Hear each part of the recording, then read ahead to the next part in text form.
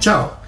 Uno degli argomenti di cui ho sempre voluto parlare in questo canale è riguardo l'apertura di eh, società in Lituania.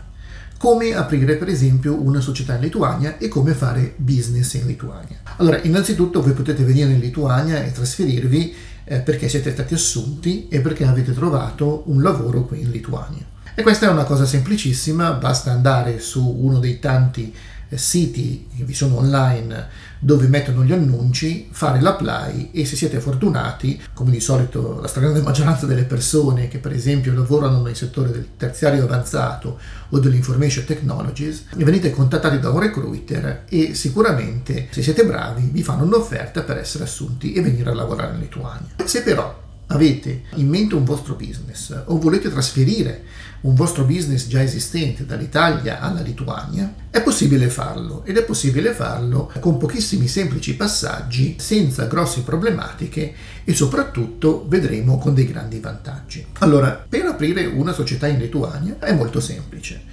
Innanzitutto bisogna avere un'idea, bisogna avere un business plan, cosa che io raccomando caldamente, e dopodiché si può procedere. Per aprire la società in Lituania bisogna presentarsi in Lituania con il proprio passaporto, non bisogna avere la cittadinanza lituana, basta essere cittadini europei, si può anche essere cittadini extraeuropei, ma la cosa è leggermente più difficile, quindi basta presentare il proprio passaporto, avere un notaio e aprire la società. Per fare questo ci si può rivolgere ad un avvocato che prepara tutta la documentazione o vi sono delle società specializzate che sotto compenso di 400, 500, 600 euro massimo vi fanno tutte le pratiche burocratiche eh, senza grossi problemi. Dopodiché voi vi presentate, pagate la fee del notaio che, attenzione, non è un costo altissimo, tipo quelli italiani dove per andare dal notaio bisogna fare un mutuo solo per pagare il notaio, qui con 400-500 euro pagate tranquillamente un notaio, a volte anche meno, e aprite la società. Per aprire la società bisogna avere un nome, il nome deve essere univoco, non può esserci all'interno della Lituania una società con lo stesso nome già aperta, quindi voi non potete aprire, che so, una società col nome Coca-Cola perché esiste già la Coca-Cola Company Lituania e quindi non potete aprire una società con lo stesso nome e vengono privilegiate le società con i nomi in lituano o in latino. Quindi voi vedrete per esempio tantissime società che hanno un marchio e poi il vero nome della società che gestiscono e poi il vero nome della società è un nome in lituano. Vi faccio l'esempio mio della mia società che si chiama Solo Gusto, in realtà Solo Gusto è il marchio che viene gestito dalla società Tix Koniui che in lituano significa solo gusto. Quindi io ho aperto la società col nome Tixconio e poi eh, la società eh, vera gestisce il marchio che, si, che è solo gusto, che è un nome italiano. Quindi questa è una pratica molto diffusa, in Lituania si apre una società con un nome lituano e poi c'è un marchio eh, che viene gestito da questa stessa società che poi tra l'altro può anche essere venduto in un successivo momento, che ha uh, tutt'altro appeal e uh, magari anche pronunciabile in maniera uh, decente e non solo per i lituani. Dicevo, si riserva il nome della società pagando una quota di 15-16 euro, se non mi ricordo male, il nome viene riservato per 6 mesi e dopodiché si hanno 6 mesi per aprire effettivamente la società. Basta andare dal notaio, fare l'atto notarile e comunicare tutti i parametri al registro Centres, cioè al centro di registro per le, le società e la società aperta. Ovviamente io sto parlando di una UAB che è l'equivalente della nostra SRL. Qui non vi sono fronzoli. Allora, innanzitutto non esiste la SRL individuale, la SRL non individuale come in Italia e cose di questo tipo. SRL è una SRL, società a responsabilità limitata e può essere formata da una o più persone.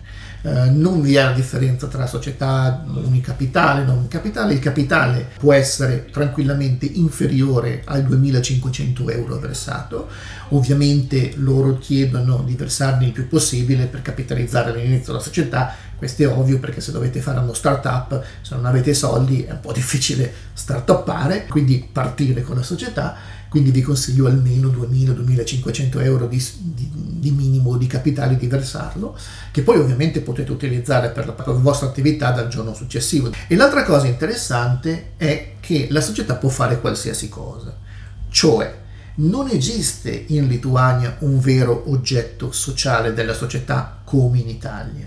In Italia, se voi aprite un SRL, dovete dichiarare in maniera abbastanza dettagliata qual è l'oggetto sociale e quali sono le attività che voi fate. In Lituania non è così, o meglio, vi chiedono quali sono le attività che voi andrete a fare, ma è solo per fine meramente statistico. In realtà, quando voi aprite una vostra UAB, una vostra SRL in Lituania, potete tranquillamente fare qualsiasi cosa, cioè dall'importare computer a materiale di cancelleria, a telefonini, a macchine, automobili, motorini e cose tipo, fino a tante altre cose.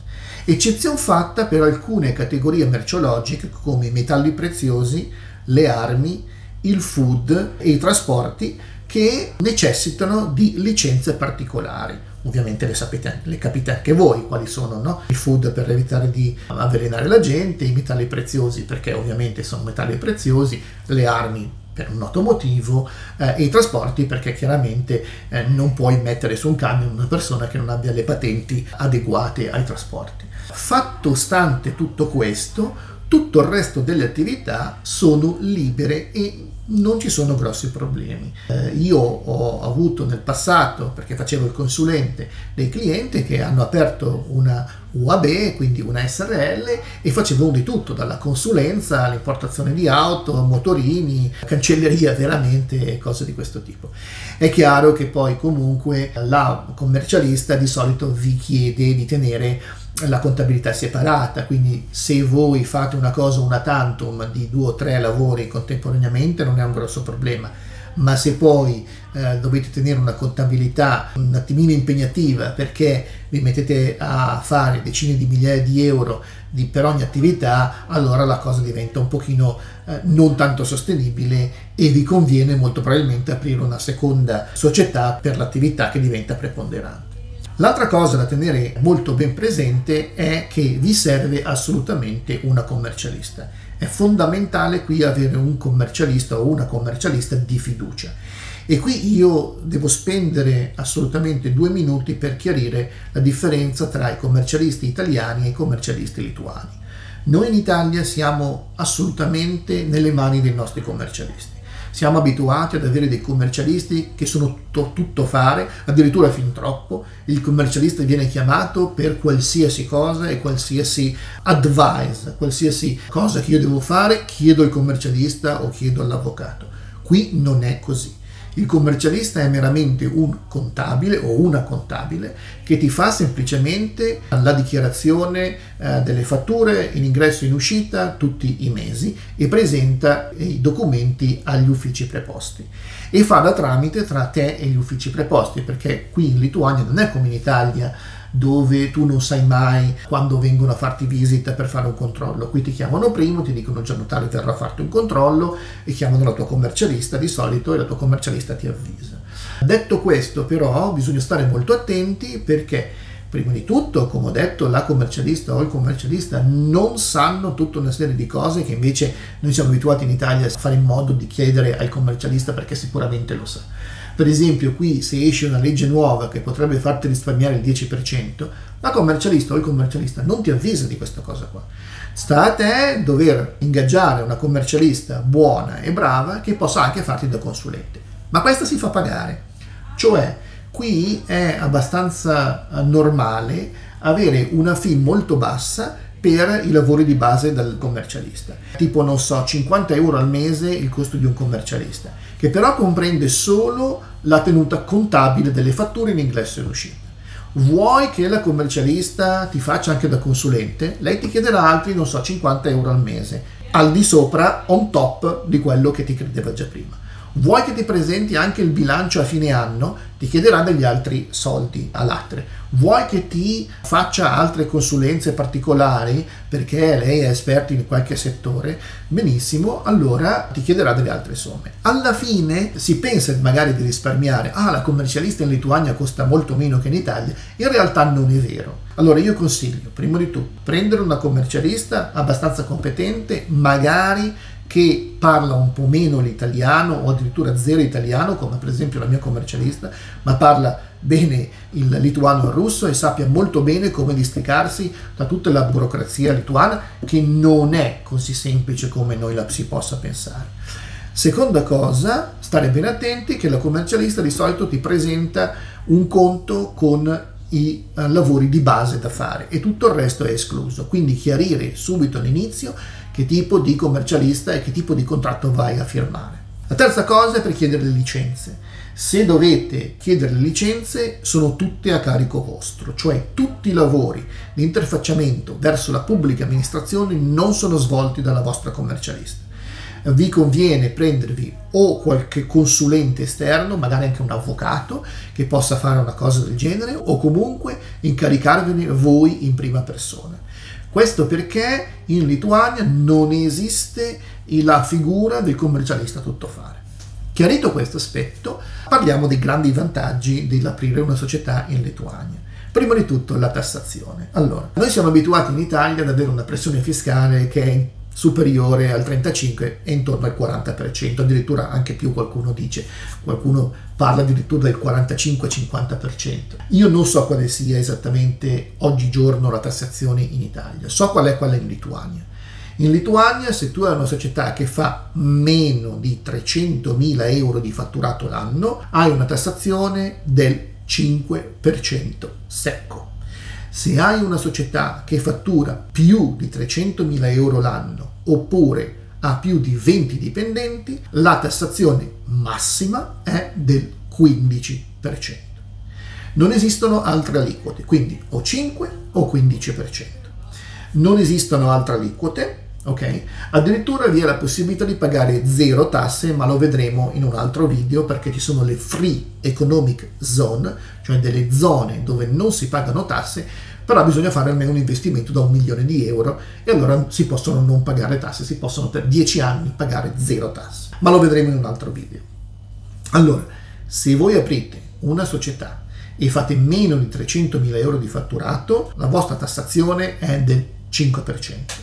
Se invece avete o 20 o più dipendenti o eh, il vostro turnaround, eh, il vostro fatturato supera i 300.000 euro, pagate come massimo il 15% di tasse.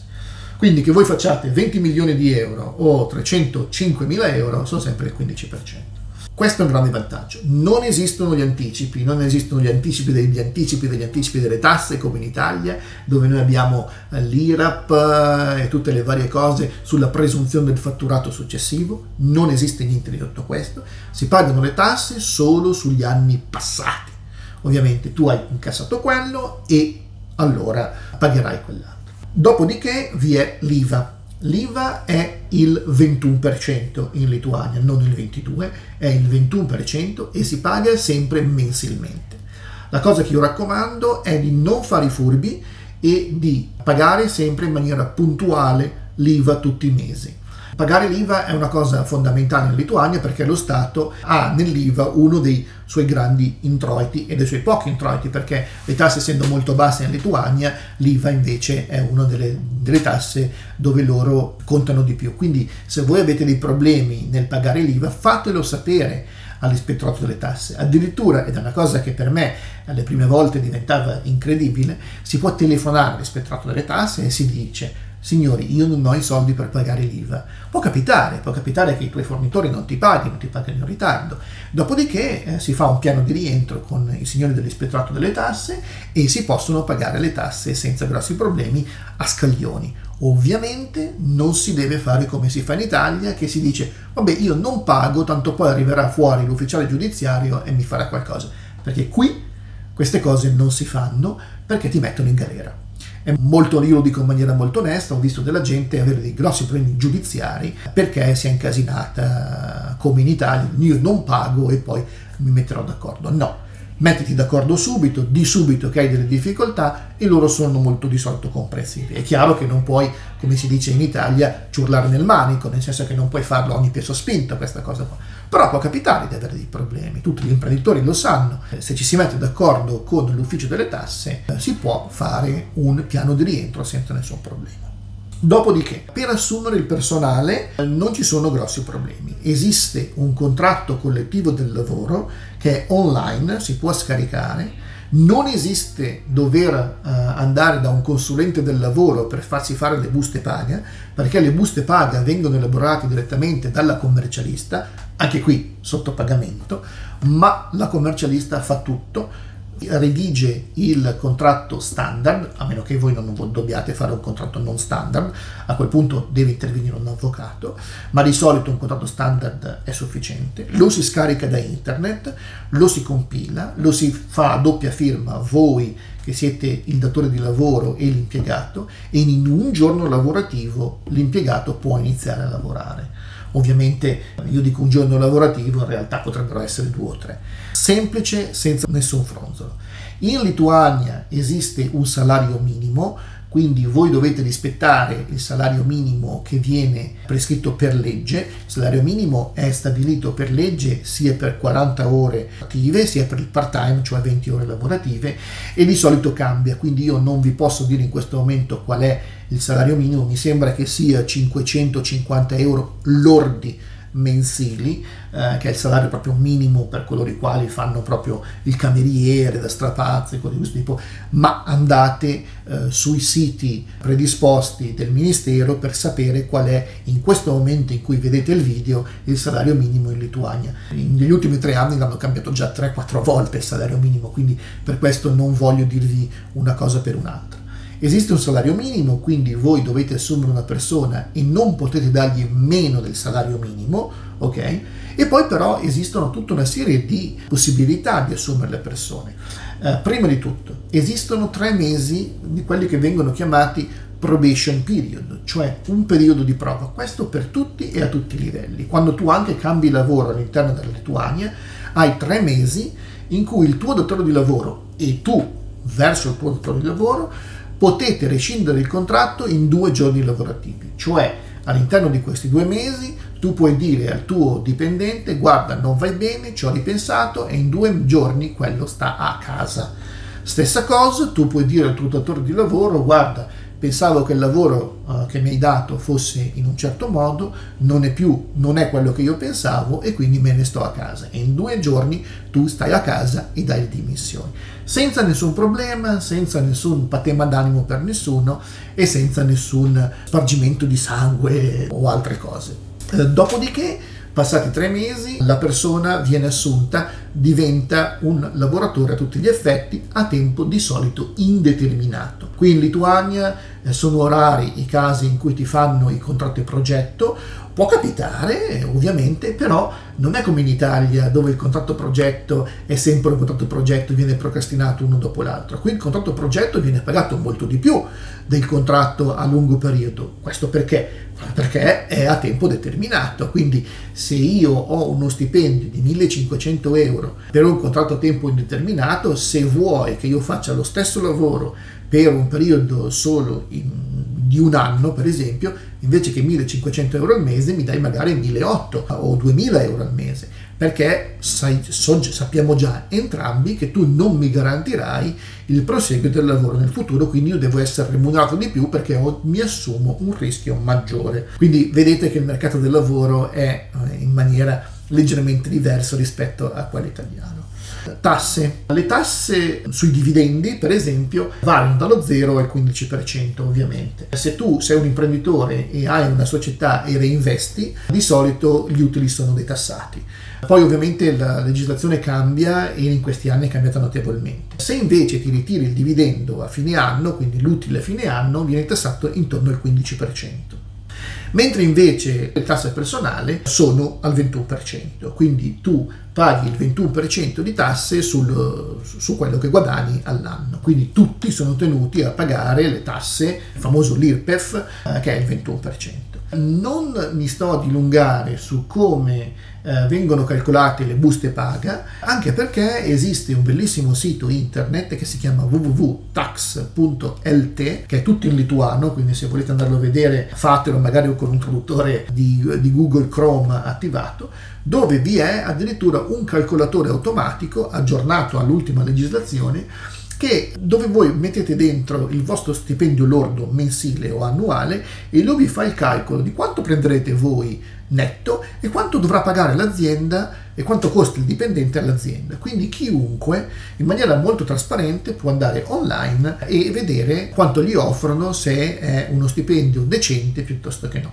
Ovviamente decente per voi, per le vostre aspettative. Questo è per quanto riguarda i dipendenti. Torniamo a fare la società. Una volta che voi avete aperto la società, la società è subito operativa. Okay? Potete richiedere la partita IVA se vi serve la partita IVA, ma addirittura se voi preventivate di non superare i 30.000 euro di fatturato l'anno, potete anche operare senza avere la partita IVA.